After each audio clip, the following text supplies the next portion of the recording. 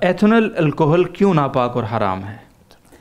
جی alcohol تو ہوتا ہی ethanol ہی ہوتا ہے اور یعنی اس کے علاوہ جو الکوہل کی یعنی سیریز ہوتی ہے اس میں کہیں نشہ نہیں ہوتا میتھنال جی۔ وغیرہ جو ہوتے ہیں۔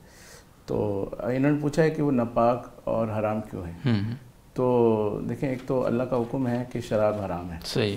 تو پھر اس کو رجس کہا گیا ہے ناپاک کہا گیا تو اس لحاظ سے وہ ناپاک بھی ہے اور ہر ناپاک چیز حرام بھی ہوتی ہے۔ جی۔ تو اس لحاظ سے یعنی قرآن کریم کے اسلوب سے ہمیں پتہ چلا کہ وہ ناپاک ہی نہیں ہے بلکہ حرام بھی ہے۔ ٹھیک ہے۔ لیکن اس سے مراد خاص کھجور اور انگور کی شراب ہے۔ اس کے علاوہ جو الکوہل جب ہم کہتے ہیں نا تو الکوہل اصل میں پورے شراب پر اس کا اطلاق نہیں ہوتا۔ شراب کا ایک گویا کہ بڑا ایکٹیو انگریڈینٹ ہے۔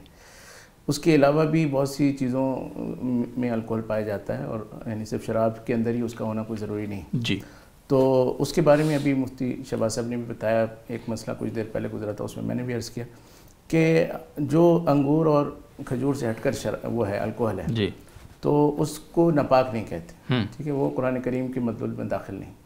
اور پھر یہ ہے کہ اس کی حرمت کا بھی ہے کہ اگر وہ نشہ دے تو پھر وہ ناجائز ہوتا ہے۔ اگر نشہ نہ دے تو وہ ناجائز نہیں ہوتا۔ ٹھیک ہے۔ تو تو ان کے سوال کا جواب یہ بنے گا کہ ایک ایتھنال تو وہ ہے جو کہ انگور اور کھجور کی شراب میں داخل وہ تو قرآن کریم کے اندر موجود ہے اور رس کا لفظ اس پر آیا۔ اور اس کے علاوہ جو الکوہل ہیں نہ وہ ناپاک ہیں نہ اس درجے میں حرام ہے کہ ان کا ایک قطرہ بھی حرام ہو۔ ٹھیک ہے۔ تو اس لحاظ سے ان کے سوال کا تعلق اس سے نہیں بنتا۔